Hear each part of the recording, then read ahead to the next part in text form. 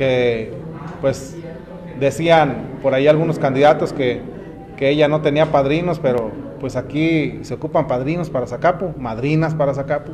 que quieran a Zacapu, que le respondan a Zacapu y que nos ayuden a gestionar, no nada más en lo estatal, sino también en lo federal y que se traigan resultados. Al final de cuentas, lo vuelvo a decir, la gente nos pide eso, resultados, resultados, resultados, y tenemos que trabajar. Y este, este tres, este equipo de tres, por decirlo así, el caso de Moni, de Adriana y su servidor, pues